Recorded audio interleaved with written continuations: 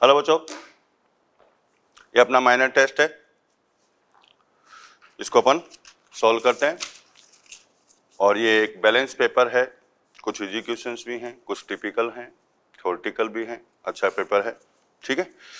तो work energy theorem से start करते हैं। तो वर्क पहला क्वेश्चन जो फ़र्स्ट क्वेश्चन है it is based on work energy theorem okay तो देखो इसमें, यहाँ पर लिख रखा है टू के जो है, वो मास है। डिस्प्लेसमेंट इसका ये है तो प्रथम दो सेकंड में किया गया कार्य। तो पहले दो सेकंड में किया गया कार्य। ठीक है? तो कार्य ऊर्जा पर में काम में लेते हैं। And according to this increasing in kinetic energy मतलब हाफ़ ये एम कॉमन ले लिया V final square minus V initial square अब बात आती है वी की वेलोसिटी तो वेलोसिटी अपन यहाँ से कैलकुलेट करेंगे। ये होगा D X by D T और बिल्कुल ईजी है, सब कर सकते हो इसको। जब टी के रेस्पेक्ट में करेंगे तो थ्री टी स्क्वायर आएगा थ्री से थ्री कैंसिल तो ये वेलोसिटी जो आई, वो थ्री टी स्क्वायर के इक्वल आ गई अब वेलोसिटी प्रथम दो सेकंड में पूछ रहा है तो टी इक्वल टू ज़ीरो पर वेलोसिटी इनिशियल और टू पर फाइनल तो इनिशियल वेलोसिटी अपनी आ जाएगी zero T equal to zero रखोगे और फाइनल वेलोसिटी जो आएगी, वो आएगी टू का square means four metre per second ये वैल्यू अपन यहाँ पर पुट करते हैं तो one by two two four square minus zero two से टू कैंसिल सिक्सटीन जूल ठीक है? तो ये अपना यहाँ पर जो आंसर होगा, वो सिक्सटीन जूल के इक्वल आ जाएगा। ओके? तो बिल्कुल इजी क्वेश्चन है सिंपल है। नेक्स्ट देखिए आप। तो इसका आंसर हो गया सेकंड ऑप्शन इसका सेकंड सेकंड देखिए आप।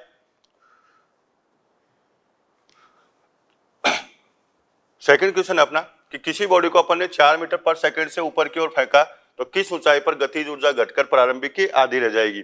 तो अपन ने मान लो इसको किसी वेलोसिटी वी से थ्रो किया। तो ये अपन रेफरेंस लेवल अर्थ सरफेस माने। तो यहाँ से अपन ने इसको थ्रो किया विद वेलोसिटी वी इसको रेफरेंस ले लिया तो यहाँ पर पोटेंशियल एनर्जी ज़ीरो होगी। तो यहाँ पर टोटल एनर्जी की वैल्यू हो गई हाफ़ एम बी स्क्वायर क्योंकि पोटेंशियल स्थिति ऊर्जा यहाँ पर ज़ीरो है। अब यहाँ पर मान लो किसी ऊंचाई यहाँ पर पहुँच गई बॉडी और यहाँ पर ऊंचाई एच है, जहाँ पर इसकी गतिज ऊर्जा जो है वो प्रारंभिक की आधी रह जाती है। तो यहाँ पर इसकी टोटल एनर्जी लेंगे तो पोटेंशियल एनर्जी तो हो गई M G H plus kinetic energy जो आएगी, वो जो इनिशियल थी उसका हाफ़ कर देते हैं तो पहले थी एम वी स्क्वायर तो उसका हाफ़ कर दिया।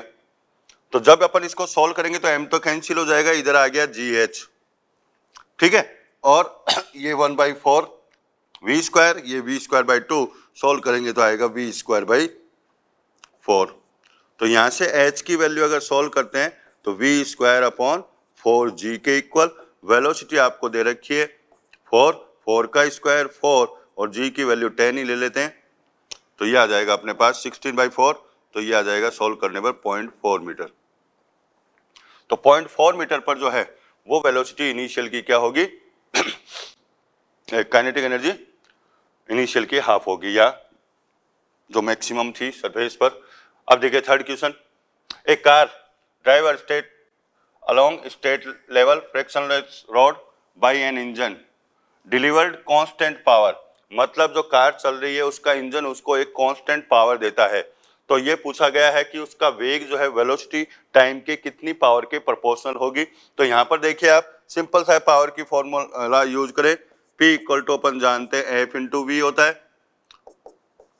ये M A into V M V A की जगह पर यूज़ कर लेते हैं D B by D T acceleration हाँ अगर अपने को as a function of time पूछ रहा है, तब तो ए की जगह यूज़ करेंगे D V by D T और अगर अपने को पूछ रहा है as a function of position तो यहाँ पर ए की जगह V D V by D X upon use कर लेंगे.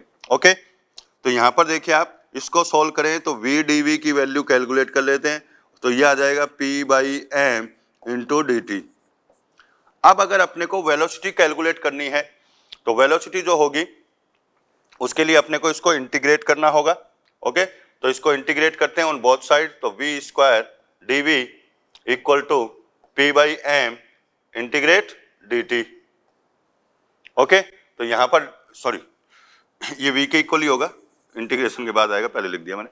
तो यहाँ पर इसका जब इंटीग्रेट करेंगे तो ये अपन जानते हैं कितना हो जाएगा V square by two and P by M और इंटू डी टी का हो गया टी ठीक है, ये वी है, इसको इंटीग्रेट करेंगे तो वी स्क्वायर बाई टू आ जाएगा ओके तो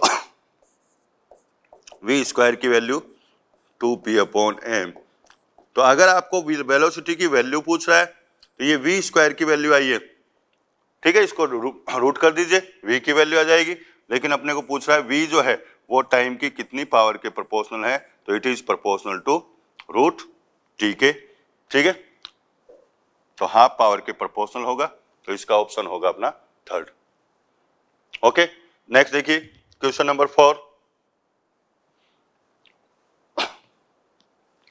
ये एक पेंडुलम है, इसकी लेंथ आपको एल गिवन है.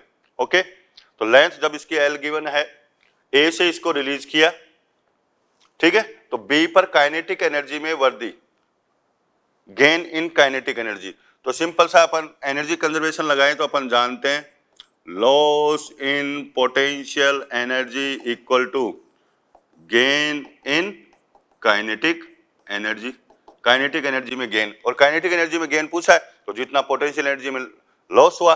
अब इसको अपन रेफरेंस लेवल लेते हैं, इस पॉइंट को reference level are L length इसकी एल है तो ये बॉल जो है, वो डायरेक्टली इतनी डाउन आ गई लेट इट इज़ एच ये एंगल 30 है तो ये आ जाएगा 60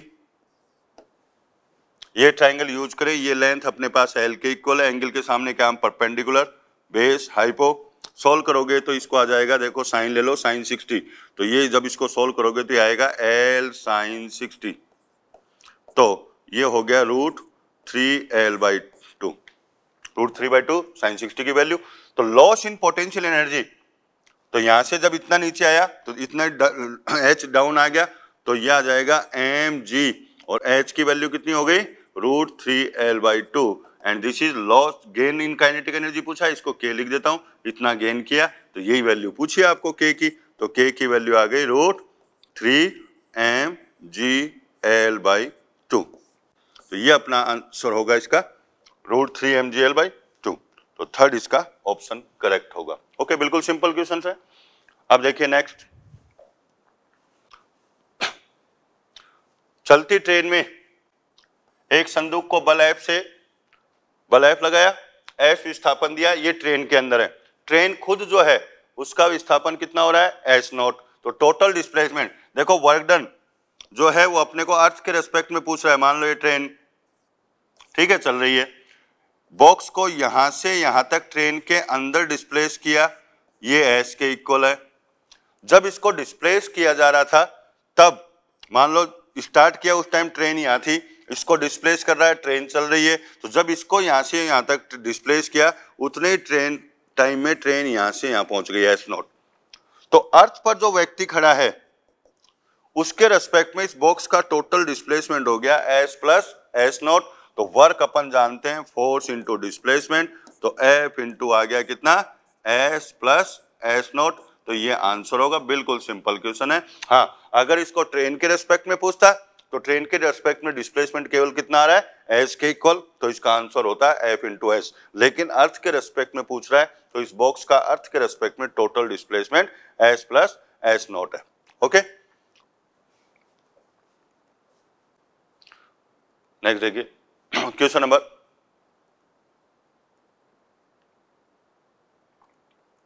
six okay question number six यहाँ पर अपने को स्थिति ऊर्जा का वक्र बताया गया है, बल का फोर्स का जो है ग्राफ कैलकुलेट करना है। तो सबसे पहली बात तो ये कि पोटेंशियल एनर्जी स्थिति ऊर्जा और बल में अपन रिलेशन देखे, कुछ होता है क्या?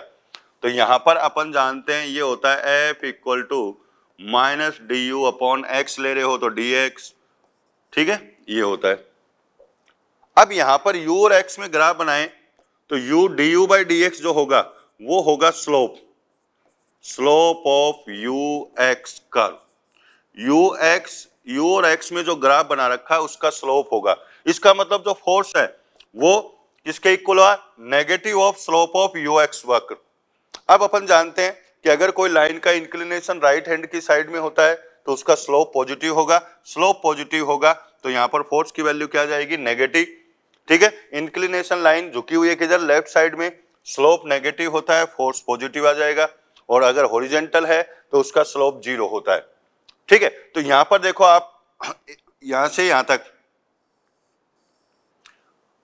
यहाँ से यहाँ तक इंक्लिनेशन राइट हैंड की तरफ़ है।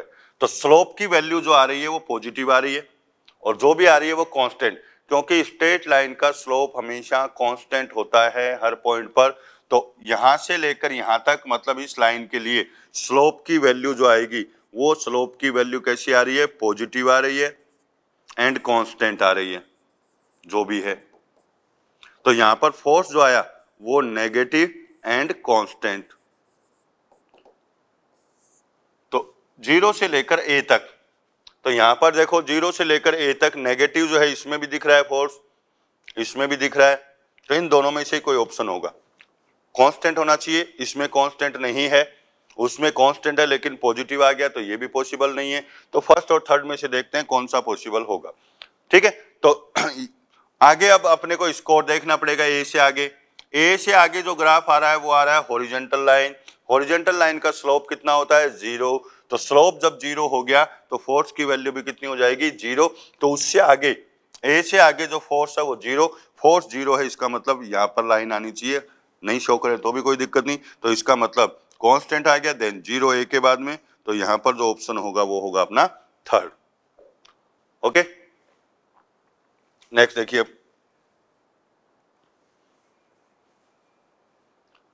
ये भी अभी जो अपन ने किया है, उसी पे बेस्ड है कि u की वैल्यू आपको गिवन है। तो आप देखिए फोर्स को जो है, वो u की फॉर्म में लिखा था d u by d x वहाँ पर केवल वो एक x का फ़ंक्शन था। ठीक है?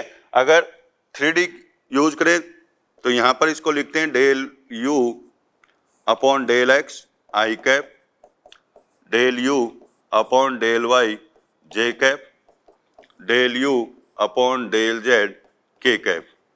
यहाँ पर del u upon del x, del u upon del y, del u upon del z, इनको बोलते हैं पार्शियल डेरिवेटिव्स पार्शियल डेरिवेटिव्स का मतलब होता है कि जब x के रेस्पेक्ट में आप कर रहे हो तो y और z कांस्टेंट होंगे, y के रेस्पेक्ट में x और z कांस्टेंट होंगे, और z के रेस्पेक्ट में तो x और y कांस्टेंट होंगे। तो सबसे पहले एक बता देता हूँ, बाकी इसी तरह हो जाएँगे। D u by d x तो डी बाई डी एक्स और इसकी वैल्यू आपको गिवन है, k तो है ही।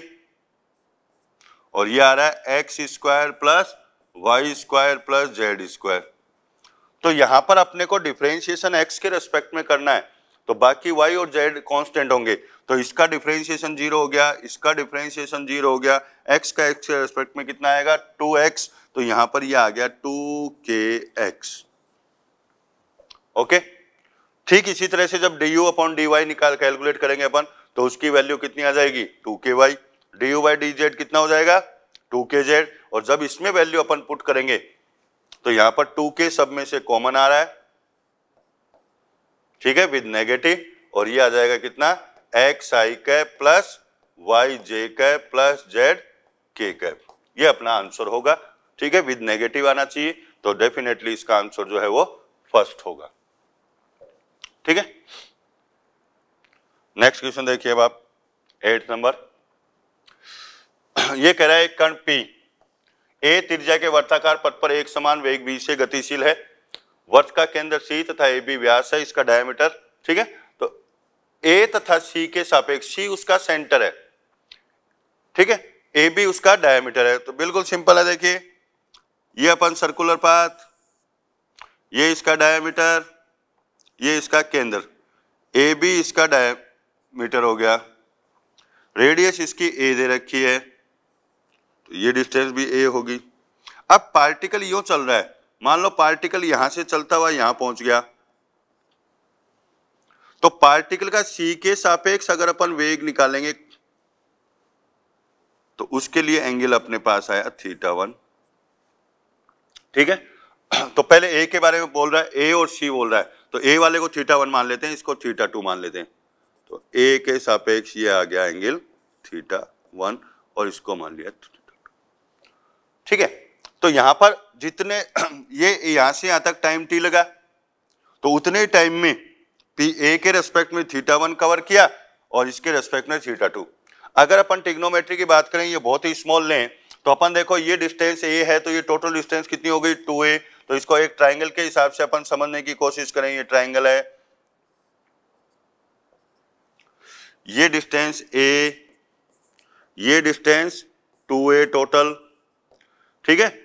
तो यहाँ पर अगर अपन, ये ट्राइंगल एक और यहाँ पर ले अपन, ये एंगल मैंने माना थीटा वन ये थीटा टू तो टेन देख लो टेन कैलकुलेट कर लो tan equal to perpendicular upon base जब इसके लिए लोगे आप थीटा वन तो परपेंडिकुलर अपॉन देखो, ये एच मान लेता हूँ।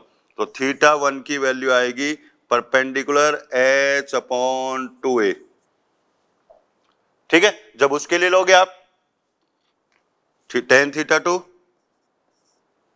ठीक है? टेन थीटा टू तो tan perpendicular h upon a h upon a की जगह आप लिख सकते हो टू टेन थीटा ठीक है? थीटा वन तो यहाँ पर कहने का मतलब है tan theta two equal to आएगा टू टेन थीटा वन ठीक है? अगर स्मॉल लें तो थीटा टू अप्रोक्सीमेट किसके इक्वल हो गया? टू थीटा वन के। तो कहने का मतलब है ये एंगल जो है वो डबल होगा इससे थीटा वन से। तो अगर ए के रेस्पेक्ट में अपन एंगुलर वेलोसिटी ओमेगा ए माने तो ये अपने पास आ जाएगा omega equal to theta upon t तो थीटा यहाँ पर theta one by t c के रेस्पेक्ट में लोगे तो it is theta two by c t sorry और थीटा टू अपन जानते हैं किसके इक्वल है? Two theta one by t theta one by t किसी ओमेगा लिख दो तो ये आ जाएगा टू ओमेगा ए ठीक है? तो थीटा इस थीटा टू की जगह अपन ने वहाँ से ये पुट कर दिया। तो यहाँ पर देखो, अपने को रेशियो पूछ रहा है ए एंड सी का। पहले ए का देन सी का। तो यहाँ से omega a upon omega c लेंगे तो ये वन बाई टू के आ जाएगा। तो इनका रेशियो जो होगा, वो सेम पार्टिकल का दो अलग अलग पॉइंट के रेस्पेक्ट में वेलोसिटी अलग अलग हुई। तो यहाँ पर ये ओमेगा ए अपॉन सी जो आ रहा है, वो वन बाई टू तो इसका आंसर जो है वो सेकेंड होगा। ओके तो नेक्स्ट क्वेश्चन देखिए आप। एक कण v बराबर एटी चाल से वर्तीय पथ पर गति कर रहा है, परिधि का एक बटे आठ चक्कर में। तो एक बटे आठ चक्कर जब वो लगा लेगा तो एक बटे आठ चक्कर में अपन जानते हैं कि उसका एंगल कितना कवर होगा। सबसे पहले ये देखते हैं। तो यहाँ पर ये एक बटे चार पैंताल, जो है नब्बे डिग्री। तो ये एक बटे आठ हो गया। वन अपॉन एट पार्ट तो ये एंगल आएगा पाई बाई फोर। अब इसका त्वरण निकालना है तो त्वरण अपने पास हुआ। वर्तीय गति में दो प्रकार के त्वरण होंगे, स्पर्श रेखीय और अभिकेंद्रीय। तो स्पर्श रेखीय, टेजेंटियल जिसको बोलते हैं एटी ये आ जाएगा d v by d t तो d by d t a t तो जब इसको सॉल्व करेंगे तो ये आ जाएगा ए ठीक है? उसके बाद अपने को चाहिए सेंटीमीटर ए आर से लिख दो रेडियल बोल दो, इसको ए की बात है ए सी लिख दो। ये हो गया v square by r v की वैल्यू पुट करेंगे तो a square t square upon r अब ये बात है कि इसको यहाँ से यहाँ तक का टाइम कितना लगा? तो टाइम के लिए अपन क्या करते हैं? टाइम अपन जानते हैं कि जो एंगल है theta equal to omega naught t plus half alpha t square ठीक है? टाइम यहाँ से कैलकुलेट कर लेंगे। तो ओमेगा नोट जो है इट इज़ इनिशियल वेलोसिटी प्रारंभिक वेग है जो कि ज़ीरो होगा। इसमें अगर टी इक्वल टू ज़ीरो करेंगे तो वी ज़ीरो तो ओमेगा भी कितना हो जाएगा? ज़ीरो ये कवर कर रहा है pi by four one by two alpha अपन जानते हैं क्या होता है? एक्सिलेशन जो है एंगुलर एक्सिलेशन है। ये होगा लीनियर एक्सिलेशन अपॉन टाइम यहाँ पर ए जो है, वो कांस्टेंट है तो लीनियर एक्सिलेशन को मान लो एक बार। कैपिटल ए से रिप्रेजेंट कर देता हूँ। तो ये आएगा ए अपॉन आर के कैपिटल ए को मैंने एक्सलेशन रिप्रेजेंट किया अब ए अपन जानते हैं। ए होता है क्या? वी टी ठीक है? अपॉन आर ठीक है? ये ऐसा करें इसको। कि अपन ये भी चलो करने की ज़रूरत नहीं है अपन। इसमें ऐसा करते हैं कि जो ये वैल्यू है अपनी, इसको रिमूव करते हैं।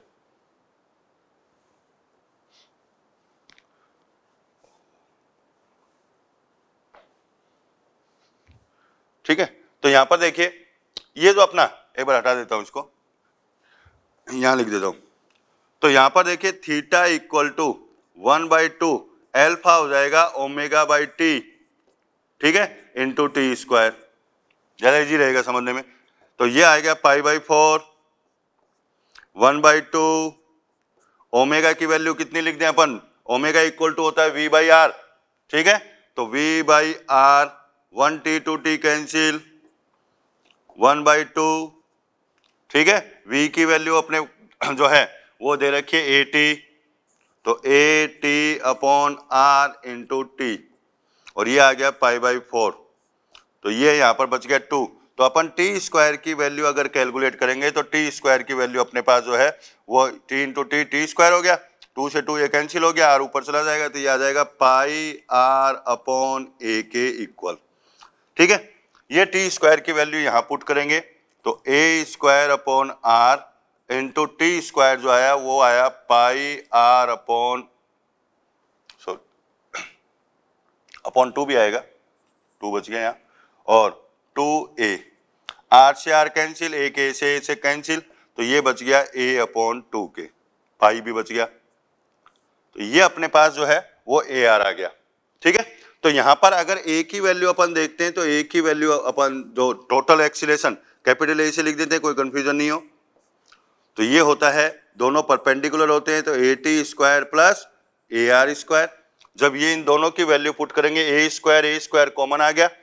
ठीक है? तो बार आकर ये ए और बाकी अपने पास बच गया क्या? यहाँ से तो one plus pi square by four four को एल्शियम लेके सोल्व करोगे, बारह आएगा तो ये बाई टू और root four plus pi square ये अपना आंसर होगा। ठीक है? तो यहाँ पर बस थोड़ा सा ये ओमेगा जो है, जो अपने पास एल्फा आया, ये तो ज़ीरो हो ही गया। एल्फा जो आया कोणीय त्वरण होता है। और इसको अपन लिख देते हैं ओमेगा अपॉन टी से। ठीक है? तो वही अपन ने किया तो यहाँ इसको अलग से टी स्क्वायर कैलकुलेट करके इसमें पुट कर दिया। ठीक है? नेक्स्ट देखिए।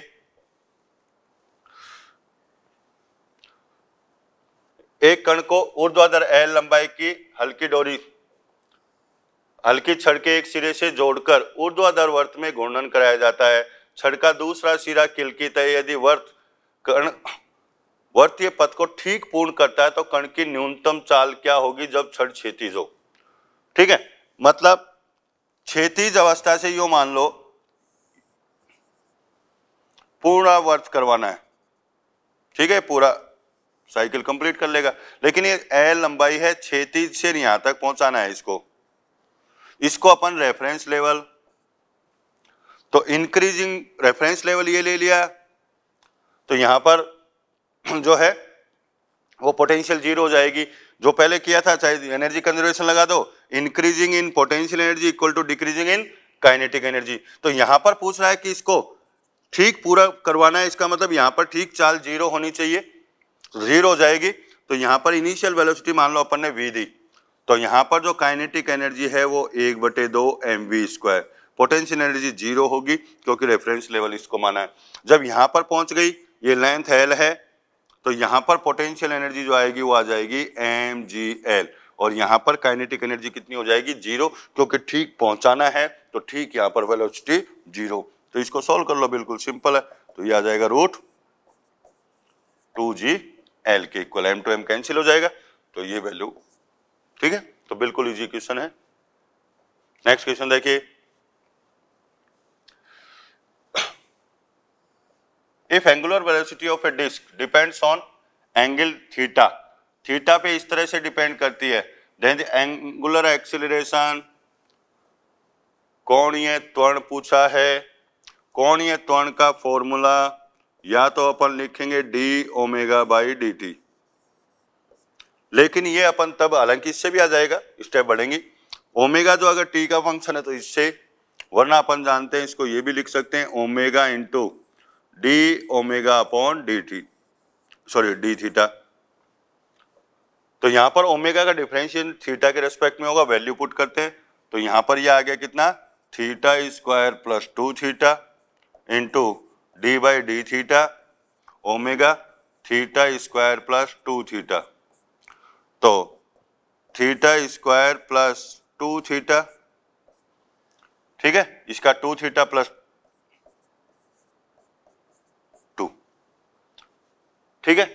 थीटा का मान जब वन है, तब अपने को पूछा है तो theta equal to one put कर देते हैं, बिल्कुल सिंपल है। तो थीटा की जगह वन पुट किया तो वन का square, two into one, into, two into one plus two. तो ये आ गया, थ्री इंटू फोर, ये आ गया, twelve. Radian per second square. तो इसका आंसर जो आएगा वो थर्ड अपना आंसर होगा। ओके बेटा? नेक्स्ट क्वेश्चन देखिए बेटा।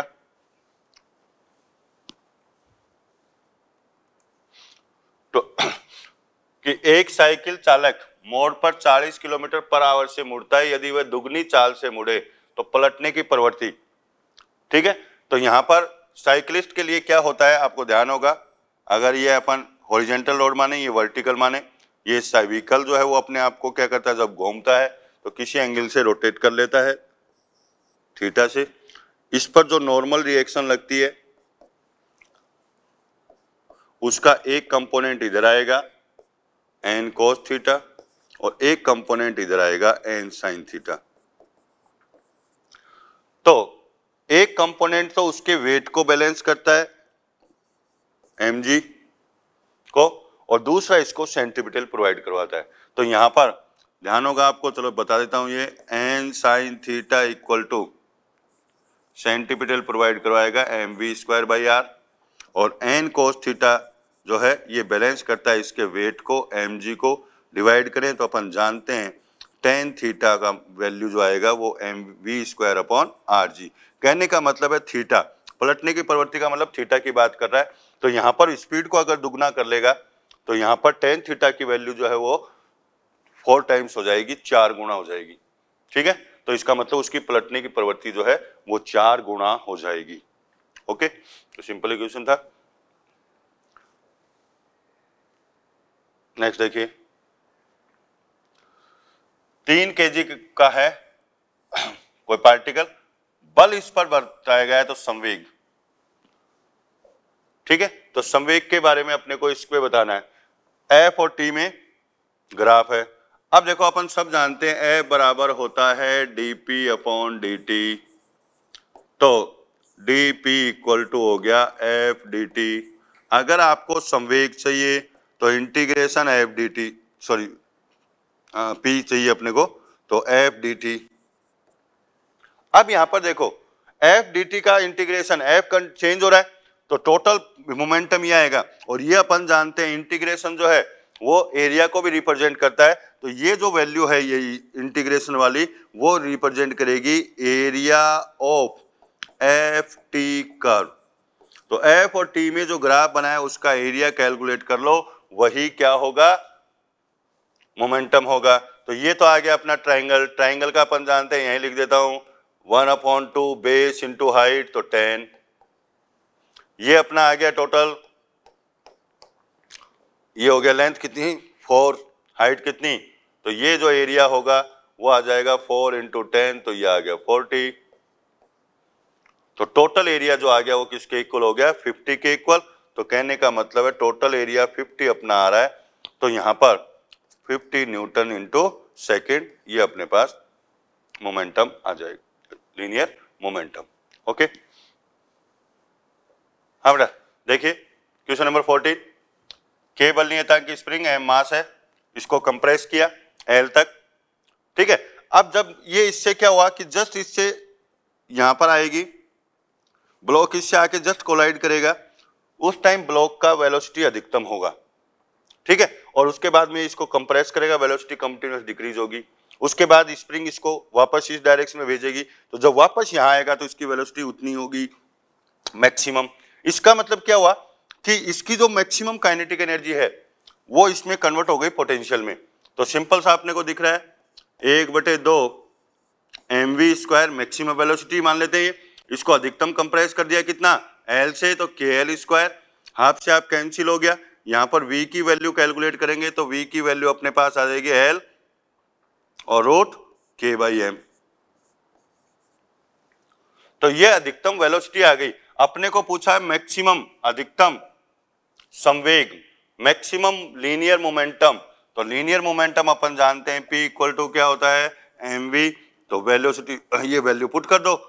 तो ये आ जाएगा के बाई एम और इसको सॉल्व करोगे तो एल रूट एम के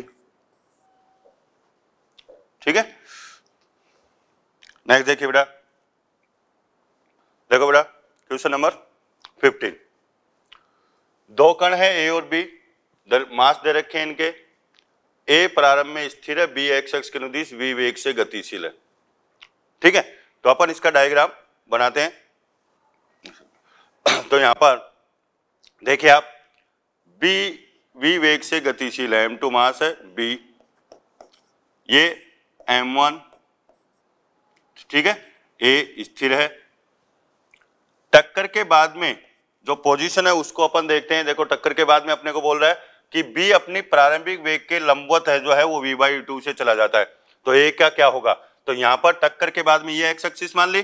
बी इस डायरेक्शन में मूव कर गया। ठीक है? वी बाई टू से ए का नहीं पता, मान लो इधर चला गया। यू से। ठीक है?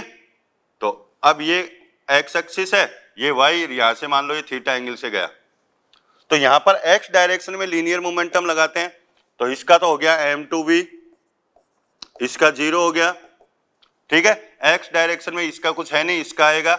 ये हो गया ए पार्टिकल अपना तो इसका मास एम वन तो एम वन यू और ये हो गया कॉस थीटा वाई डायरेक्शन में लगा देते हैं तो वाई डायरेक्शन में प्रारंभ में ज़ीरो बाद में देखते हैं। तो बाद में अगर अपन इसको देखें तो टक्कर के बाद में तो बी तो चला गया एम टू द्रव्यमान वाला तो चला गया वी बाई टू से, और वाई डायरेक्शन में। इसके बारे में नहीं पता तो इसका इधर जो कंपोनेंट आएगा, वो साइन हो जाएगा तो ये हो जाएगा m one u sine theta इसको जब अपन सरल करेंगे तो m two v by two equal to minus m u sine theta आ जाएगा। ठीक है? अब यहाँ पर वेलोसिटी अगर देखें, इनकी कैलकुलेट कर सकते हैं तो one by two two by one कर दो equation two divided by one तो देखो यहाँ पर m one m one cancel u u cancel sine upon cos हो गया टेन और एम टू कैंसिल वी से वी कैंसिल और जब इसको सॉल्व करेंगे तो यह आ जाएगा माइनस का वन बाई टू ठीक है? तो थीटा की जो वैल्यू आएगी, ये आएगी tan inverse minus one by ये इसका आंसर होगा। तो यहाँ पर इसका ऑप्शन जो है, वो थर्ड होगा। ओके बेटा? नेक्स्ट देखिए। एक गोलक को उधर से इस प्रकार घुमा रहे हैं कि उसका कौन ही आयाम 90 मतलब 90 तक यहाँ तक जाता है ये, यहाँ से, ठीक है? यदि उच्चतम बिंदु पर रस्सी को काट दिया जाए तो इसके पश्चात 90 से कम है सॉरी 90 से कम तक तो पथ संभव होगा। अब देखो, कहीं भी, ये जब अपन इसके अंदर यहाँ से चला मान लो, यहाँ पर उच्चतम बिंदु, इससे आगे नहीं जा रहा। तो निश्चित रूप से यहाँ पर वेलोसिटी कितनी हो जाएगी? ज़ीरो वेलोसिटी ज़ीरो होगी तो जो ही रस्सी को काटोगे तो सीधा नीचे आएगा। अगर यहाँ पर मान लो, रस्सी उच्चतम बिंदु पर नहीं काटकर कहीं और काटते, मान लो यहाँ काटते, यहाँ पर इसकी वेलोसिटी ये थी तो डेफिनेटली वेलोसिटी ये थी तो इधर आके गिरता। लेकिन वो तब होता जब वो उच्चतम बिंदु पर नहीं होता। तो ये इससे आगे नहीं जा रहा है तो यहाँ पर वेलोसिटी कितनी हो गई? ज़ीरो वेलोसिटी ज़ीरो होते ही ये सीधा क्या होगा? काटते रस्सी नीचे की तरफ़ आएगा तो इसका ऑप्शन हो गया थर्ड ठीक है? नेक्स्ट देखिए बेटा। आठ त्रिज्या के एक वर्त में एम द्रव्यमान का एक कण गतिशील है। यदि कण का अभिकेंद्रीय त्वरण इतना हो तो कण का संवेग कितना होगा? अभिकेंद्रीय त्वरण, ठीक है? तो अभिकेंद्रीय त्वरण अपन जानते हैं ए सी बराबर जो है, वो होता है कितना? वी स्क्वायर बाई आर के और ये अपने को दे रखा है फोर अपॉन आर स्क्वायर। इसको सरल कर लेते हैं। आर से आर कैंसिल तो वी की वैल्यू आ गई टू बाई रूट आर।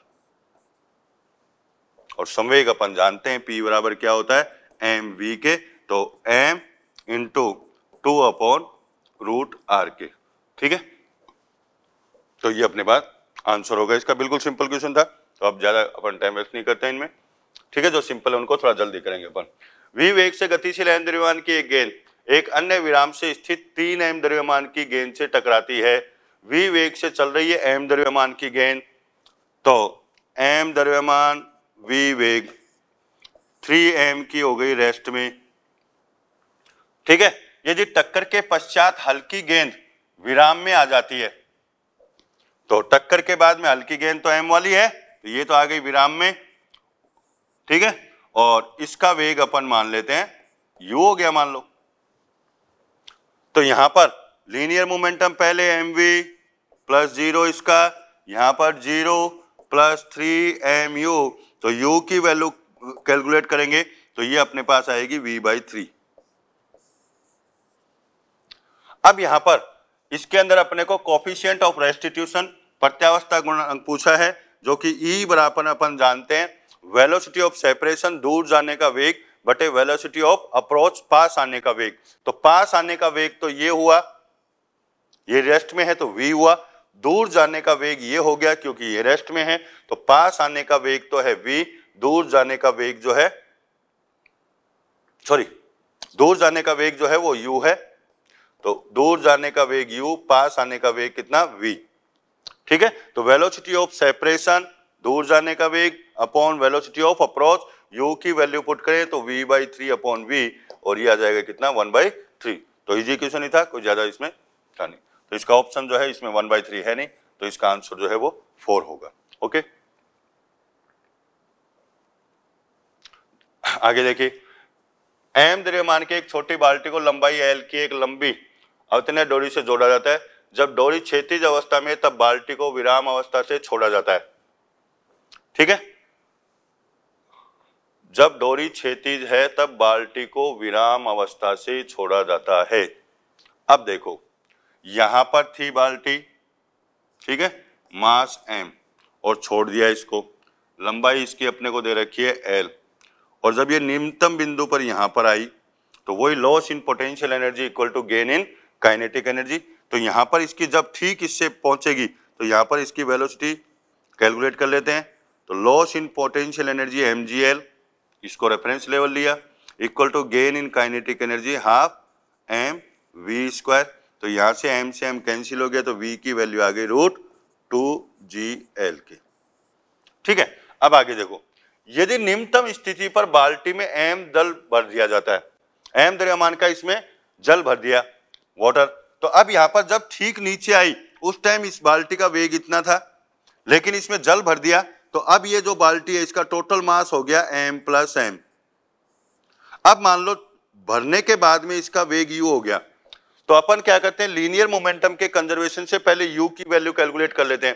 तो यू की वैल्यू देखो, यहाँ पर क्या होगा? ठीक पहले बाल्टी अकेली आ रही थी तो वेग एम वी उसके बाद में एम प्लस एम और इंटू यू तो u की वैल्यू अपने पास आ गई m upon m plus m into v ठीक है? ये u की वैल्यू आ गई। और उसके बाद में कह रहा है कि ये h ऊंचाई तक जाती है। तो h का मान पूछा है। अब ये दोनों जो हैं, बाल्टी और पानी, इसका द्रव्यमान ये हो गया यू से जा रहे हैं एच ऊंचाई तक जा रहे हैं। यहाँ तक।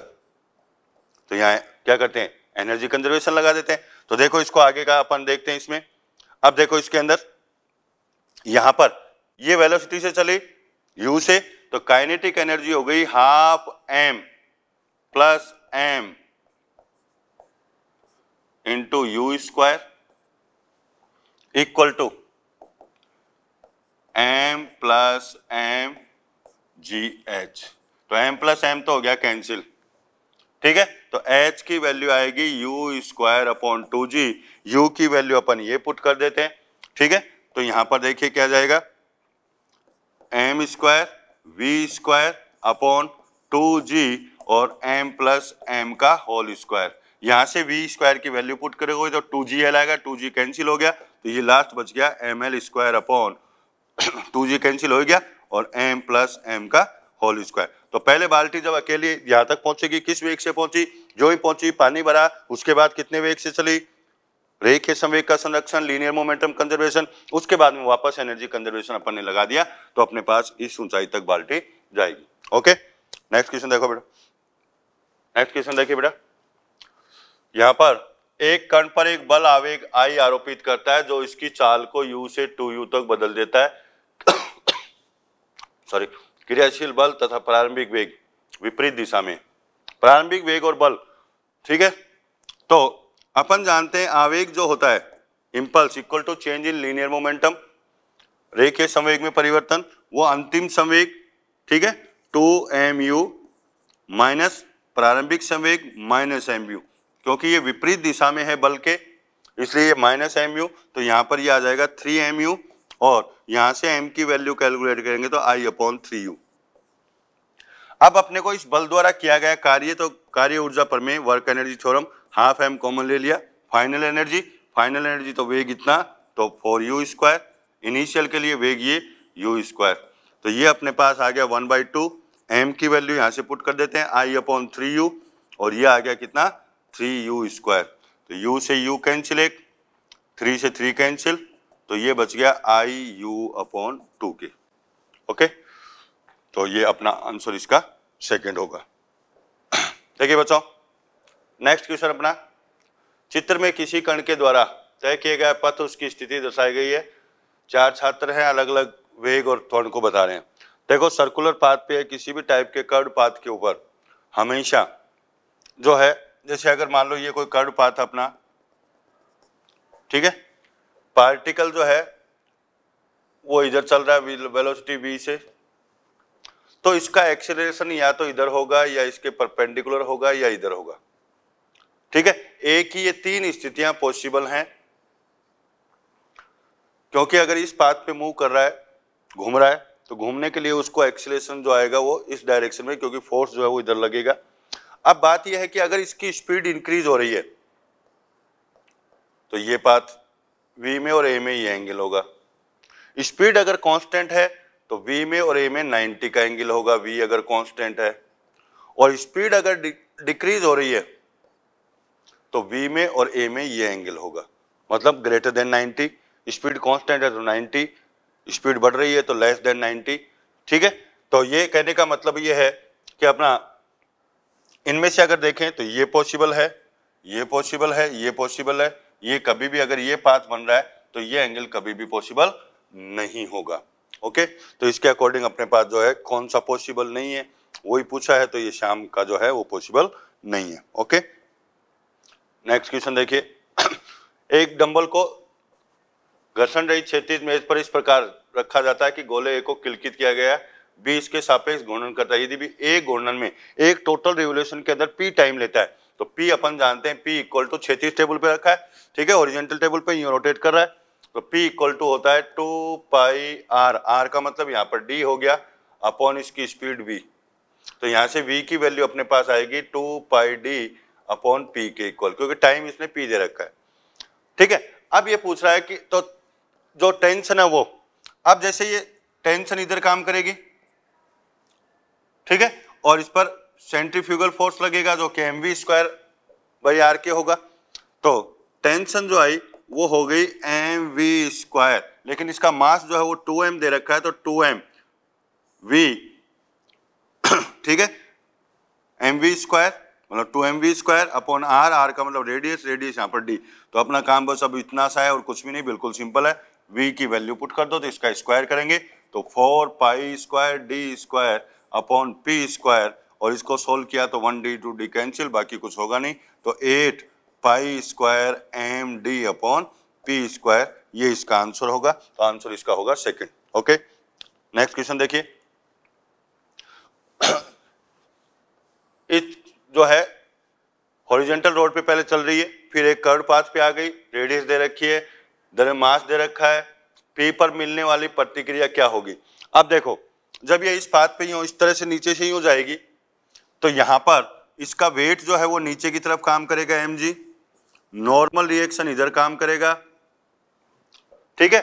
और इन दोनों का रिजल्टेंट जो होगा, परिणामी होगा, वो इसको आवश्यक अभिकेंद्रीय बल प्रदान करेगा। तो इन दोनों का रिजल्टेंट क्योंकि सेंटर इधर है इसका तो सेंटीमीटर नॉर्मल रिएक्शन की तरफ़ आएगा। तो एन माइनस एम जी जो आएगा, ये हो जाएगा m v square upon r के तो नॉर्मल रिएक्शन जो आएगा वो हो गया m g plus m v square by r अब सारी चीज़ें इसमें दे रखी हैं। एम का मान 500 ठीक है? जी 10 मान लेते हैं 500 वी का मान अपने को 10 सॉरी बीस। तो बीस का स्क्वायर हो गया चार सौ। रेडियस दे रखी है कितनी? दस। तो ये बीस हज़ार, पाँच हज़ार, ये हो जाएँगे पच्चीस हज़ार। ठीक है? न्यूटन या पच्चीस किलो न्यूटन। ये इसका आंसर होगा। ठीक है? थर्ड इसका आंसर आ जाएगा। नेक्स्ट क्वेश्चन देखिए। ये यहाँ पर इसको बोलते हैं कॉनिकल पेंडुलम ठीक है? तो यहाँ पर देखिए कॉनिकल पेंडुलम के अंदर इसकी बॉल की लेंथ हेल दे रखी है। तो बॉल अपने पास यूँ है और जब इसको ऊपर ले जाके थोड़ा यूँ हॉरिजेंटल में करवाएँगे अपन तो यहाँ पर ये जो रेडियस आएगी, ठीक है? तो ये यहाँ पर था, थोड़ा ऊपर ले जाके हॉरिजेंटल में अपन करवा रहे हैं। तो यहाँ पर पहले, सबसे पहला काम तो अपना ये रेडियस कैलकुलेट कर लेते हैं कि ये सर्कुलर पाथ है, इसकी रेडियस क्या आई ठीक है, अब यहाँ पर देखो ट्राइंगल ले लेते हैं एंगल के सामने क्या, हम परपेंडिकुलर बेस हाइपो तो यहाँ से ले लेते हैं साइन ऑफ़ थीटा तो साइन हो गया परपेंडिकुलर अपॉन दिस तो आर की वैल्यू आ जाएगी कितनी? एल साइन थीटा अब अपने को साफ़ साफ़ यहाँ दिख रहा है कि इसको अलग से अपन लें। ये इसमें टेंशन आ गई टी ठीक है? ये एंगल अपना थीटा है। तो ये एंगल भी जो आएगा वो कितना हो जाएगा? थीटा के इक्वल इधर आ गया टी कोस थीटा, ये बैलेंस करेगा एम जी को। इधर आ गया टी साइन थीटा, ये इसको अभिकेंद्रीय बल प्रदान करेगा। ठीक है? तो यहाँ पर ये m v square by r के या ओमेगा की फॉर्म में तो एम ओमेगा स्क्वायर आर के तो यहाँ पर देखिए t sine theta m omega square r तो आर की वैल्यू अपन यहाँ से पुट कर देते जो कि अपने पास है कितनी? एल साइन थीटा और ये भी किसके इक्वल आ गया? T sine theta sine theta sine theta cancel तो टी की वैल्यू आ गई एम ओमेगा स्क्वायर एल के ठीक है? और बहुत अच्छा क्वेश्चन है सिंपल सा ही है। ठीक है? तो टी की वैल्यू ये आ जाएगी अपने पास। नेक्स्ट देखिए आप। एक व्यक्ति जो दौड़ रहा है, ठीक है, ये थोड़ी कैलकुलेटिव है दौड़ रहा है कोई व्यक्ति, इसकी गतिज ऊर्जा, अपने से आधे द्रव्यमान के लड़के की गतिज ऊर्जा की आधी है। ठीक है? तो अब अपन मान लेते हैं कि जो व्यक्ति है, वो यू वेग से दौड़ रहा है तो उसकी गतिज ऊर्जा ये हो गई। अब इसकी गतिज ऊर्जा आधे द्रव्यमान के लड़के से आधी है। ठीक है? तो आधे दर... गतिज ऊर्जा अपने से आधे द्रव्यमान के लड़के की गतिज ऊर्जा की आधी है। तो आधे द्रव्य आधी हो गई गतिज ऊर्जा लड़के से। लड़के की आएगी एक बटे दो मास इंटू वेलोसिटी लेकिन इसका मास भी कितना है? एम बाई टू और लड़के का वेग मान लेते हैं बीस। ठीक है? तो one by two one by two m cancel m भी कैंसिल हो गया तो यहाँ बच गया u square equal to v square by four number one. ठीक है, यदि व्यक्ति अपनी चाल को एक मीटर पर सेकंड बढ़ा लेता है तो गतिज ऊर्जा लड़के की गतिज ऊर्जा के समान हो जाती है। अब इसका वेग पहले u माना था, और अब ये कह रहा है कि इसका वेग एक बढ़ा दिया तो u प्लस एक का होल स्क्वायर अब गतिज ऊर्जा इसके बराबर हो जाती है तो एक बटे दो लड़के, लेकिन लड़के का द्रव्यमान आधा था इंटू वी स्क्वायर ठीक है तो व्यक्ति की चाल निकालनी है यू का मान कैलकुलेट करना तो यहाँ से वी स्क्वायर का मान लिख देते हैं। तो वी स्क्वायर का मान अपने पास आएगा फोर यू स्क्वायर ठीक है? तो यहाँ पर एक बटे दो एम कैंसिल हो गया। तो ये बचा यू प्लस वन का स्क्वायर ठीक है? ए एम बटे दो कैंसिल हो गया, एक बटे दो, और वी स्क्वायर का मान अपने पास कितना है? फोर यू स्क्वायर तो ये बच गया टू यू स्क्वायर तो यू स्क्वायर प्लस एक plus two u equal to two u square और जब इसको सरल करेंगे u square minus two u minus एक इक्वल टू ज़ीरो ये एक द्विघात क्वाड्रेटिक इक्वेशन बन गई। क्वाड्रेटिक इक्वेशन को इसको सोल्व कर लो। ठीक है? फ्रैक्शन तो होंगे नहीं। तो जो अपना फॉर्मूला होता है एक्स वाला, वो पुट करके तो u की वैल्यू आ जाएगी माइनस बी का मतलब टू प्लस माइनस बी का स्क्वायर मतलब फोर माइनस फोर ए का मतलब वन सी का मतलब minus one upon two a, इसको सोल्व कर लेते हैं। माइनस वाला आएगा नहीं तो इसमें जब इसको सोल्व करोगे तो माइनस वाला ये छोड़ देंगे, ये हो गया आठ, दो रूट दो दो कैंसिल हो जाएगा तो वन प्लस माइनस रूट दो आएगा। माइनस वाली वेलोसिटी पॉसिबल नहीं है स्पीड इसकी तो यहाँ पर आंसर अपना आ जाएगा रूट दो प्लस वन या एक प्लस रूट दो के इक्वल ठीक है? थोड़ा कैलकुलेटिव था, लेकिन अच्छा क्वेश्चन है। ओके नेक्स्ट क्वेश्चन बेटा।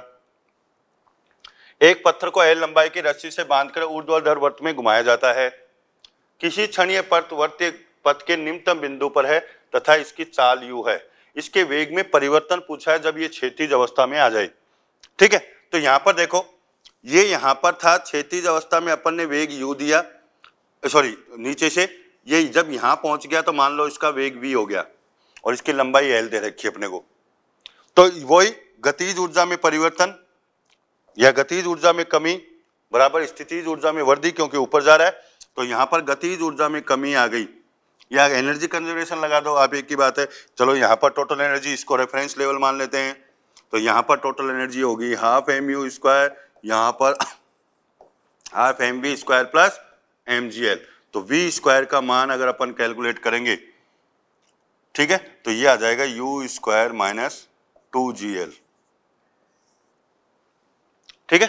वी स्क्वायर का मान यहाँ पर कैलकुलेट कर दें अब वेलोसिटी में चेंज पूछ रहा है तो वेलोसिटी में चेंज अगर अपन देखें तो ये आएगा फाइनल वेलोसिटी माइनस इनिशियल और इसका मैग्नीट्यूड पूछा है तो डेफिनेटली इनके बीच में 90 का एंगल है। तो 90 का एंगल है तो ये इक्वल टू आएगा किसके? V square plus u square v square की वैल्यू अपने पास है, और वी स्क्वायर की वैल्यू अपने पास है u square minus two g l और प्लस ये यू स्क्वायर है ही। तो टू यू स्क्वायर हो गया, टू इन दोनों से कॉमन आ जाएगा तो टू कॉमन आ गया तो u square minus g l ठीक है? तो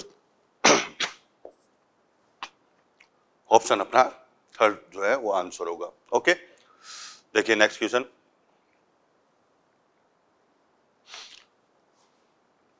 एक कार सॉरी 30 मीटर पर सेकंड से 500 मीटर त्रिज्या के पथ पर घूम रहे हैं।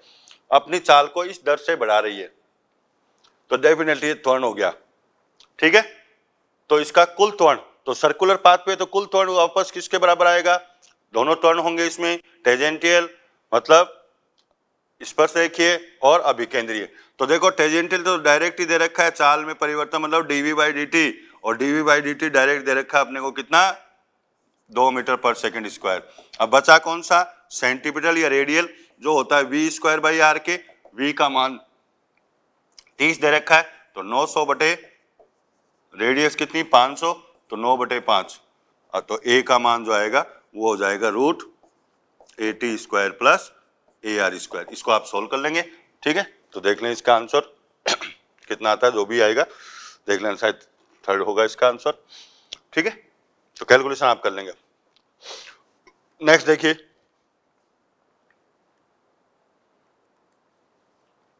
एक कण वर्तीय पथ पर गतिशील है, इसका कोणीय वेग रेखीय वेग, कोणीय त्वरणीय सारे दे रखे हैं। तो देखो, अगर अपने पास यू गतिशील है इस पथ पर, ये इसकी घूर्णन की अक्ष है। तो देखो, ओमेगा इधर होता है एल्फा इधर होता है। ये वेग इस तल में होगा वी ये इधर रेडियल, रेडियस आ गई इसकी, ये आर तो यहाँ पर वी और ओमेगा परपेंडिकुलर होंगे वी और एल्फा परपेंडिकुलर होंगे, ठीक है? ओमेगा और आर परपेंडिकुलर क्योंकि आर की डायरेक्शन रेडियल ये होगी। तो यहाँ पर देख लो कौन सा इसमें सही है वो अपने को बताना है। तो विकल्प सही नहीं है। ओमेगा और एसी एसी जो सेंटिपिटल एक्सीलेशन है, वो इसी पथ पर यूँ लगेगा। तो सेंटिपिटल एक्सीलेशन और ओमेगा परपेंडिकुलर ये सही है। ठीक है? तो ये अपना सही है। ओमेगा परपेंडिकुलर एल्फा ये नहीं होगा। ओमेगा और एल्फा एक्सियल वेक्टर हैं, एक्स के अनुदिश होंगे, ओमेगा और वी परपेंडिकुलर होंगे, ये सही है। वी और एसी ये भी परपेंडिकुलर होंगे, एक नियत चाल से चलता है तो तो इसका मतलब ये इसमें सही नहीं होगा। ठीक है? तो अपना आंसर जो आएगा इसमें, ऑप्शन नंबर टू, क्योंकि इनकरेक्ट पूछा था, is not correct. Okay? Next question देखिए। ये थोड़ा बड़ा है।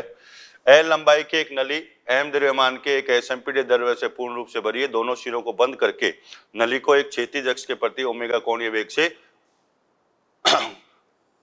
क्षैतिज तल में घुमाया जाता है ऊर्ध्व अक्ष के प्रति। तो देखो इसमें, मान लो ये अपनी ट्यूब है, टोटल लंबाई इसकी एल है। ठीक है? ओमेगा से घूम रही है। इसका एक अल्पांश लेते हैं। ये अल्पांश यहाँ से x दूरी पर है, इस अल्पांश की लंबाई dx तो पूरी ट्यूब के अंदर जो है, m द्रव्यमान भरा है। इसका मतलब l लंबाई का द्रव्यमान m मान ले एक तरह से। छड़ मान लो चाहे इसको एक ही बात है। तो अपने को dx लंबाई का जो द्रव्यमान आएगा, वो डी एम बराबर आएगा m by l into d x अब इस छोटे से पार्ट पर जो फोर्स लगेगा, उसकी वैल्यू अपन देख लेते हैं। ठीक है? तो जो फोर्स लगेगा, वो आ जाएगा डी एम ओमेगा स्क्वायर और इंटू एक्स क्योंकि ये छोटा सा पार्ट इस पाथ में घूमेगा, इसकी रेडियस आएगी किसके बराबर? एक्स के इक्वल तो यहाँ पर डीएम की वैल्यू पुट कर दें। तो डीएम की value m by l omega square आ गया, ये एक्स सही और डी एक्स ये डी एफ़ आ गया।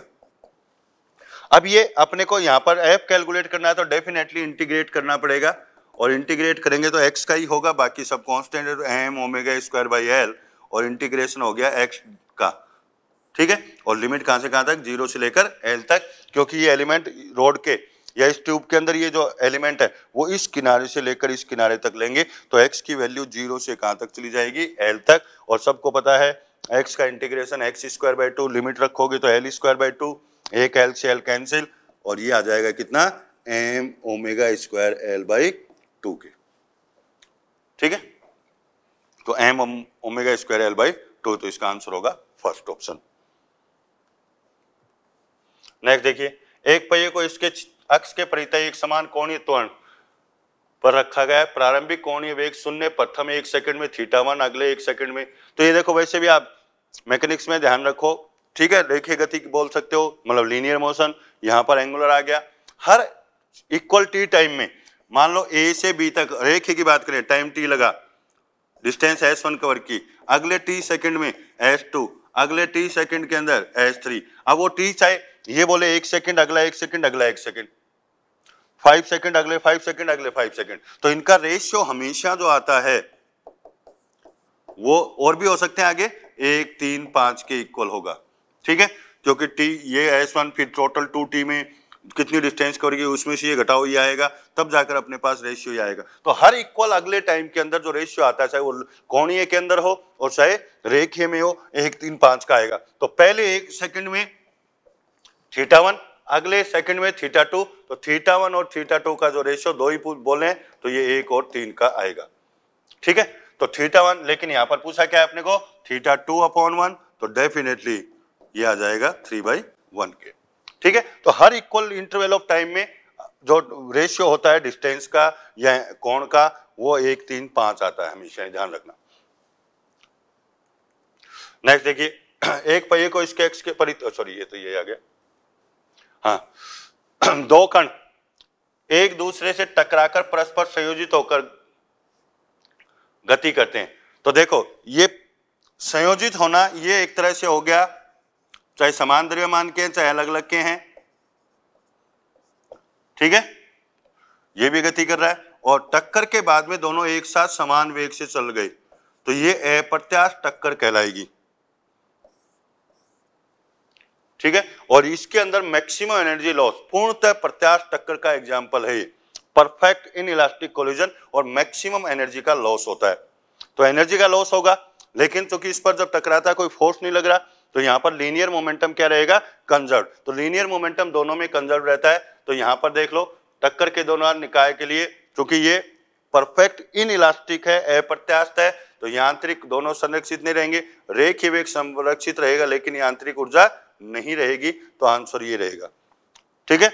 तो इसमें मैक्सिमम एनर्जी का लॉस होता है परफेक्ट इन इलास्टिक कोलिजन में। हाँ बेटा नेक्स्ट क्वेश्चन देखिए। पाँच मीटर की ऊंचाई से एक रबड़ की गेंद को एक ग्रह की सतह पर गिराया जाता है। गुरुत्व के बारे में पता नहीं। उछलने के पश्चात तीन पॉइंट दो से ऊपर जाती है। ठीक है? तो यहाँ पर देखो, मान लो, ये सतह है। एच वन ऊंचाई से गिराया ठीक जब गिर रही है, तब इसका वेग v1 टकराने के बाद में ठीक ऊपर जा रही है तो वेग v2 और उसके बाद मान लो ये h2 ऊंचाई तक गई। तो यहाँ पर अपन जानते हैं रेस्टिट्यूशन कांस्टेंट जो है E वो होता है वेलोसिटी ऑफ़ सेपरेशन दूर जा रही है V2 से। V2 इस सतह से V2 से दूर जा रही है। पास आ रही है V1 से। ठीक है? तो दूर जाने का वेग बटे पास आने का वेग।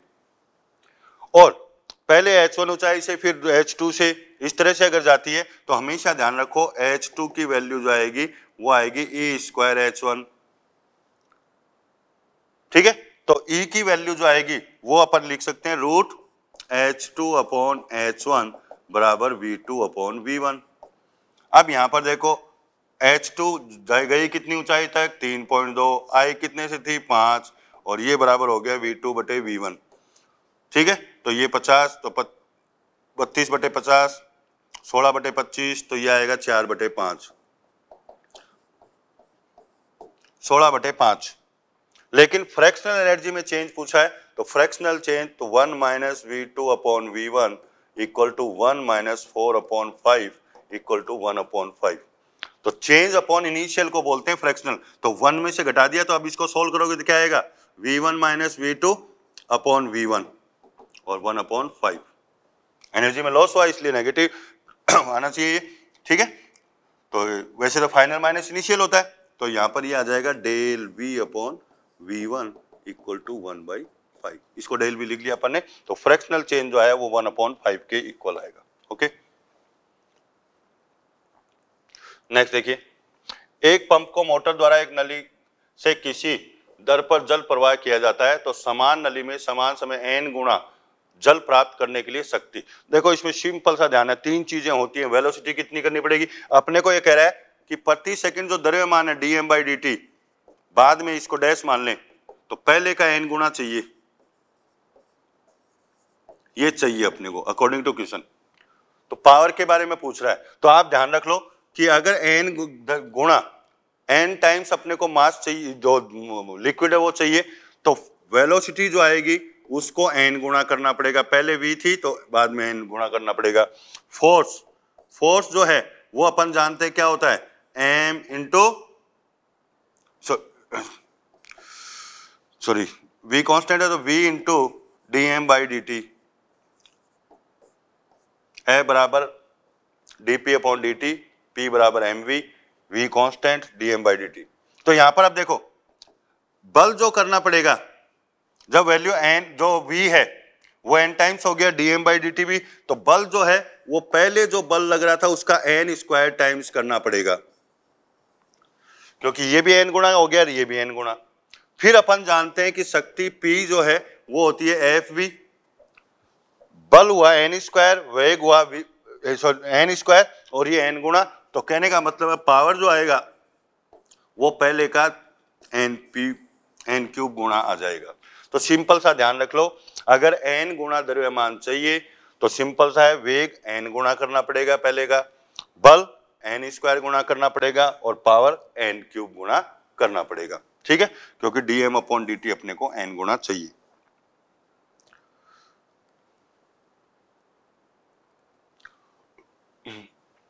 तो यहाँ पर देखो यू और एक्स में ग्राफ पूछा है एफ़ और एक्स में ग्राफ दे रखा है। और ये स्ट्रेट लाइन है।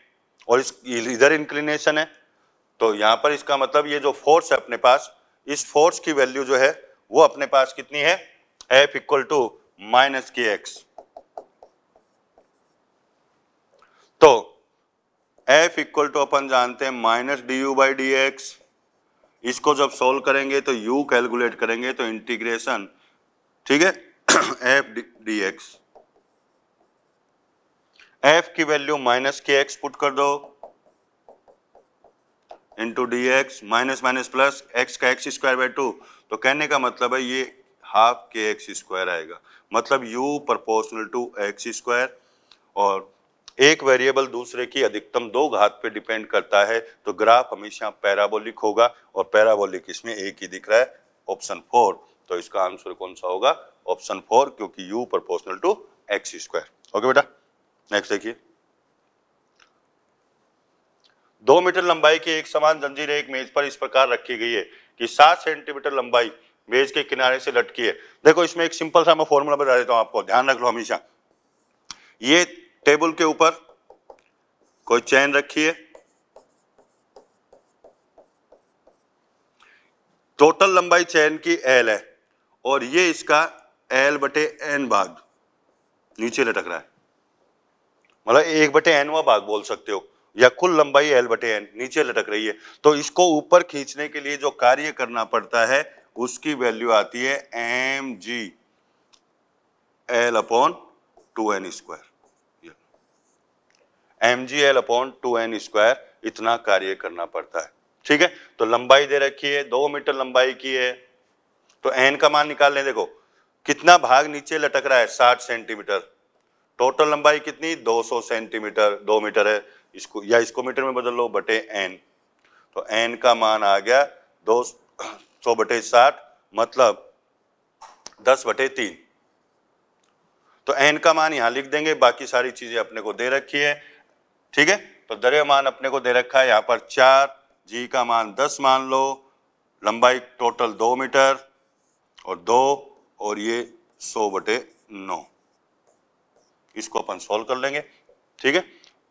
तो जो भी आंसर आएगा तो देख लो इसमें तीन पॉइंट छह आंसर आएगा तो इसका आंसर हो गया अपना तीन पॉइंट छह जूल, ठीक है? अगला देखिए बेटा। एम द्रव्यमान का एक पिंड विराम अवस्था से क्रियाशील नियत बल से कुल दूरी चलता है, इसकी गतिज ऊर्जा। तो कार्य ऊर्जा पर में है, कार्य ऊर्जा पर में किया गया कार्य गतिज ऊर्जा में वर्दी, एक बटे एम बी स्क्वायर ठीक है? बल द्वारा प्राप्त गतिज ऊर्जा तो गतिज ऊर्जा प्राप्त की प्रारंभिक ज़ीरो मान लें तो ये डेल्टा के हो गई। और ये अपन जानते हैं क्या होता है? बल इंटू विस्थापन डेल्टा के तो गतिज ऊर्जा द्रव्यमान पर डिपेंड नहीं कर रही। इसका मतलब जो है, वो ऑप्शन इसका वन होगा। ठीक है? मान लो एस दूरी चला तो F S equal to delta K बिल्कुल सिंपल क्वेश्चन है। नेक्स्ट देखिए। यू में और आर में अब देखो बल के बारे में पूछ रहा है। पहले भी कुछ बताया था इसके बारे में। Minus D U upon D X minus इसको बोल सकते हैं slope of U X curve slope अगर पॉजिटिव है तो एफ़ नेगेटिव नेगेटिव का मतलब आकर्षण होता है। स्लोप पॉजिटिव है, ए नेगेटिव है तो एफ़ पॉजिटिव हो गया। पॉजिटिव का मतलब प्रतिकर्षण होता है। तो यहाँ पर देखो, यहाँ से लेकर यहाँ तक किसी भी पॉइंट पर स्लोप बनाओगे, इधर बनेगा। तो लाइन पीछे की तरफ़ झुकी हुई होगी इधर। लाइन जब इधर झुकी हुई होगी तो इसका मतलब यहाँ से ए से सी तक जो स्लोप स्लोप है, वो नेगेटिव हो गया। स्लोप नेगेटिव हो गया तो फोर्स की वैल्यू कैसी हो गई? पॉजिटिव पॉजिटिव का मतलब रिपल्सिव फोर्स प्रतिकर्षण बल लगेगा। सी के ऊपर देखो, स्पर्श रेखा जो स्लोप होगा वो ओरिजेंटल ओरिजेंटल लाइन आई। ओरिजेंटल लाइन का स्लोप होता है ज़ीरो तो सी के ऊपर जो पर्टिकुलर सी से पहले की जस्ट थोड़ा सा पहले की बात कर रहे हैं, ठीक है? पर्टिकुलर सी के ऊपर जो बल है, उसका मान ज़ीरो आएगा क्योंकि स्लोप तो सी पॉइंट पर बल का मान ज़ीरो ठीक है? उसके बाद में सी से इधर चलते हैं अपन, यहाँ देख लो तो स्लोप जो आ रहा है वो इधर आ रहा है मतलब लाइन इधर झुकी हुई है स्लोप पॉजिटिव स्लोप पॉजिटिव तो बल का मान क्या हो गया? नेगेटिव और कहने का मतलब है कहाँ से कहाँ तक? सी से डी बोल दो या ई e बोल दो तो सी टू डी आ जाएगा। तो सी टू डी नेगेटिव बल का मतलब ये हो गया आकर्षण। ठीक है?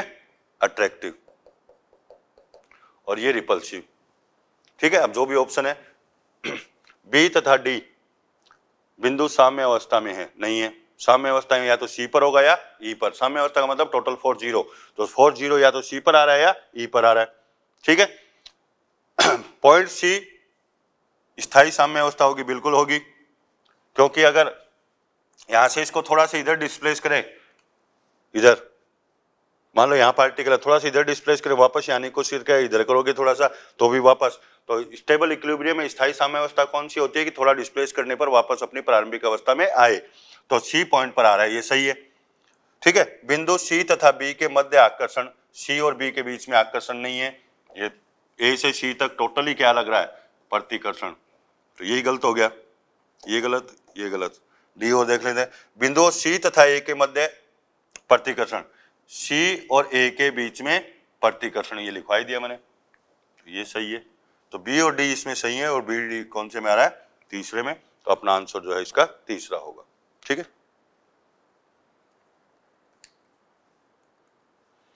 नेक्स्ट देखिए। ये सिंपल सा ही है 10 मीटर गहराई से इसका फॉर्मूला अपन देख लेते हैं क्या आएगा। तो पावर के बारे में पूछा है एच ऊंचाई तक लेके गए। तो पावर अपन जानते हैं पावर जो है work per unit time T मान लो। टी इक्वल टू एच ऊंचाई तक एम मान गया तो M G H upon T लेकिन यहाँ पर डेंस जो है, वो वॉल्यूम पर सेकंड दे रखा है। आयतन दे रखा है प्रति सेकंड का, दस की घात माइनस एक क्यूब आयतन प्रति सेकंड तो आयतन तो द्रव्यमान बराबर होता है घनत्व गुणा आयतन और जी एच बटे टी तो v बटे टी का मान अपने को दे रखा है। पानी का घनत्व 10 की घात तीन होता ही है। G का मान लिख दो, h का मान। ठीक है? तो इसको सोल्व कर लो। तो इसका आंसर जो है, वैसे अपन देखें तो रो का मान 10 की घात तीन जी का मान, या v बाई टी का कितना दे रखा है? दस की घात माइनस एक। ठीक है? तो ये v बाई टी का ही मान है, पूरा दस की घात माइनस एक। टेन की पावर, और g की वैल्यू 9.8 और इंटू एच की वैल्यू 10 ठीक है? तो यहाँ पर देख लीजिए 9.1 किलोवाट ये इसका आंसर होगा।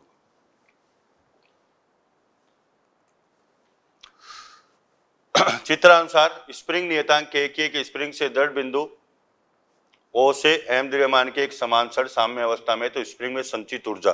देखो स्प्रिंग में संचित ऊर्जा होती है हाफ़ के एक्स स्क्वायर स्प्रिंग जो है, वो कितना खींची? मान लो इस छड़ के कारण, छड़ का जो मास है, वो बीच में काम करेगा।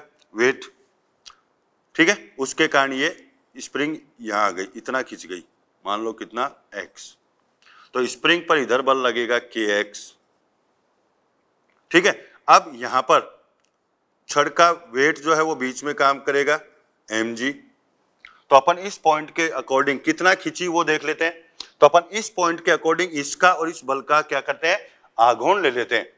तो आघोन टो इक्वल टू होता है फोर्स इंटू परपेंडिकुलर डिस्टेंस तो फोर्स के एक्स लग रहा है, इस पॉइंट के अबाउट ले रहे हैं तो डिस्टेंस एल आ गई।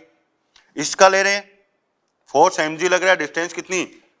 एल बाई टू तो एम जी का तो टॉर्क हो गया ओ के अबाउट इस पॉइंट के अबाउट ये, और के एक्स का हो जाएगा के एक्स इंटू एल ये। तो यहाँ से कितनी स्प्रिंग खींची वो देख लेते हैं तो एल से एल कैंसिल हो गया। तो एक्स की वैल्यू आ गई एम जी अपॉन टू के तो x की वैल्यू पुट करें तो हाफ़ के और x स्क्वायर हो रहा है तो M square G square upon two K square ठीक है? तो एक के से के कैंसिल हो जाएगा तो यह आएगा M square G square upon four K option आ गया इसका फ़र्स्ट ओके नेक्स्ट देखिए। दो वी में सदिश एफ़ ये दे रखा है। ठीक है? यहाँ से यहाँ तक का कार्य निकालना है। तो कार्य बराबर देखो, थ्री डी अगर इसमें दे रखा है तो ये अपने पॉइंट कहाँ से, कहाँ तक? टू थ्री से लेकर थ्री ज़ीरो तक। और एफ़ डॉट, अब यहाँ पर डी आर यूज़ करेंगे। तो दो से तीन तीन से ज़ीरो, एफ़ का मान आपको दे रखा है। Three X square I cap plus four J cap अब डी आर को अपन क्या लिखेंगे? D X I cap plus D Y J cap conservative फलावने ठीक है? अब यहाँ पर देखो, इंटीग्रेशन दो से तीन तीन ज़ीरो। आई से आई कैप को किया तो three X square D X plus, इसको इससे किया तो फोर डी वाई ओनली। ठीक है? अब इसको इंटीग्रेट कर देते तो एक्स स्क्वायर का X cube by three three से थ्री कैंसिल तो एक्स क्यूब और डी वाई का वाई तो फोर वाई और ये लिमिट अपने को पुट करनी है टू थ्री थ्री ज़ीरो तक।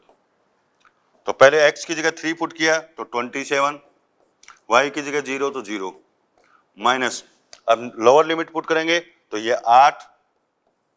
एक्स की जगह दो पुट किया वाई की जगह प्लस बारह। तो बारह आठ बीस, सत्ताईस में से बीस कम हो गए तो ये बच गया अपना सात जूल। ठीक है? तो सात जूल प्लस का, जो भी आंसर है इसका थर्ड ओके नेक्स्ट देखिए, एक संरक्षी निकाय की स्थिति ऊर्जा इतनी है, तब इसकी साम्य स्थिति। तो साम्य स्थिति का मतलब बताया था, साम्य स्थिति वो होती है जब बल का मान कितना होता है? ज़ीरो। तो बल को ज़ीरो करेंगे। बल होता है कितना? Minus D U upon D X इसको ज़ीरो करना है तो इसका अवकलन मैं सीधा ही लिख रहा हूँ माइनस ठीक है? तो यहाँ पर जब अवकलन करोगे तो एक्स स्क्वायर का हो गया कितना? Minus X square two X तो minus two X plus minus minus plus हो जाएगा, और थ्री एक्स का हो गया three equal to zero solve करेंगे तो एक्स की वैल्यू एक पॉइंट पाँच मीटर, ठीक है? तो बिल्कुल सिंपल क्वेश्चन है तो कोई ज़्यादा इसमें दिमाग नहीं लगाना अपने को, है ना? एक स्थिर का sorry M one M two द्रव्यमान के दो कणों को विस्फोटित होते हैं। तो देखो जब विस्फोट होगा तो एक्सटर्नल कोई फोर्स नहीं लगता। फोर्स जब नहीं लगेगा तो उनका लीनियर मोमेंटम कंजर्व रहेगा। ठीक है? तो लीनियर मोमेंटम जैसे ये पार्टिकल था, दो पार्ट में टूट गया, एक इधर गया, एक इधर गया। तो इसका लीनियर मोमेंटम P1 इसका P2 तो P1 one equal to P two ठीक है? इनका मैग्नीट्यूड सेम होगा। तो यहाँ पर लीनियर मोमेंटम कंजर्व है तो गतिज ऊर्जाओं का अनुपात पूछ रहा है। गतिज ऊर्जा अपन जानते हैं, ये भी लिख सकते हैं P square upon two M P की वैल्यू कांस्टेंट है तो इसका मतलब ई e जो आएगा वो इनवर्सली प्रोपोर्शनल टू मास क्योंकि विस्फोट होने पर पी हमेशा क्या रहेगा? कंजर्व रहेगा। ये कांस्टेंट ये कांस्टेंट एम के व्युत्क्रमानुपाती तो इसका मतलब ई वन बटे ई टू जो आएगा वो किसके इक्वल आ जाएगा? एम टू बटे एम वन के, क्योंकि ये इसके व्युत्क्रमानुपाती आ रहा है। ओके नेक्स्ट क्वेश्चन एम द्रव्यमान वाला कण वी वेग से गतिशील है। तो टू एम द्रव्यमान के किसी स्थिर कण से टकराकर उससे चिपक जाता है। तो सिंपल सही है तो एम द्रव्यमान का कण वी वेग से गति करता है। टू एम द्रव्यमान के स्थिर कण से टकराता है। ठीक है? और दोनों आपस में चिपक जाते हैं। तो मान लो कितनी चाल से चले। यू से रेखीय संवेग। परफेक्ट इन इलास्टिक कोलिजन है। रेखीय संवेग संरक्षण। तो एम वी और बराबर थ्री एम यू तो u का मान आ गया कितना? V बटे तीन के। तो ये बिल्कुल इजी क्वेश्चन है ये भी। केवल आपको लीनियर मोमेंटम कंजर्वेशन लगाना है। ओके तो v बाई थ्री मतलब आंसर ये आ गया।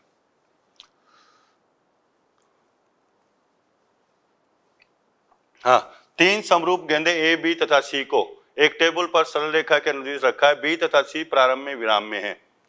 गेंद ए 10 मीटर पर सेकंड से बी पर सीधे संगठ करती है। सभी संगठ प्रत्यास्थ माने जाते हैं। परफेक्ट इलास्टिक कौन सा होता है कि अगर जो है, समान द्रव्यमान की अगर बोल हैं, ये एम ये एम ये वी वेग से चल रही है। परफेक्ट इलास्टिक कोलिजन है तो टक्कर के बाद ये तो रुक जाएगी और ये चलने लग जाएगी। एनर्जी का मैक्सिमम ट्रांसफ़र होता है। देखो, इन इलास्टिक में मैक्सिमम लॉस होता है और इलास्टिक परफेक्ट है तो मैक्सिमम ट्रांसफ़र होता है। तो मैक्सिमम ट्रांसफ़र हो गया, सेम मास के हैं तो पूरी की पूरी एनर्जी इसको दे देगा मतलब जो वेग इसका था वो इसको मिल गया। तो यहाँ पर ये 10 से चली, ये तो रुक जाएगी टक्कर के बाद। टक्कर के बाद ए तो रुक गई, बी चलने लग गई 10 मीटर पर सेकंड से। अब बी टकराएगी सी से तो बी तो रुक जाएगी, और सी चलने लग जाएगी कितने से? 10 मीटर पर सेकंड से। तो परफेक्ट इलास्टिक है तो टक्कर के बाद पहले वाली रुकती जाएँगी लास्ट वाली उसी वेग से गति करने लग जाएगी। तो 10 मीटर पर सेकंड इसका वेग आ जाएगा। वेलोसिटी ऑफ़ सी पूछी थी। सी का वेग क्या होगा? ओके ये भी अच्छा क्वेश्चन है। सिंपल ये वैसे। लास्ट क्वेश्चन अप्रत्याश संगठ में केवल संवेग संरक्षित रहता है। अभी भी बताया था वैसे ही। संवेग तो रहेगा ही। वो एनर्जी का मैक्सिमम लॉस रहता है। गतिज ऊर्जा से नहीं रहेगी। न संवेग, ये भी नहीं होगा। संवेग व गतिज ऊर्जा दोनों नहीं। केवल और केवल क्या रहता है? संवेग, क्योंकि प्रत्याश टक्कर जो है, जिसको अपन परफेक्ट इन इलास्टिक बोलते हैं, उसमें एनर्जी का मैक्सिमम लॉस होता है। ओके बेटा? तो ये अपना पेपर कंप्लीट है। आप एक बार इसको दोबारा देखिए। हो सकता है कुछ एक दो क्वेश्चन इसमें। कैलकुलेशन थोड़ी बड़ी होगी। अदरवाइज़ सब सिंपल क्वेश्चन थे। इसी लेवल के पेपर आजकल आते हैं। ओके थैंक यू बेटा। जय C L C. Best of luck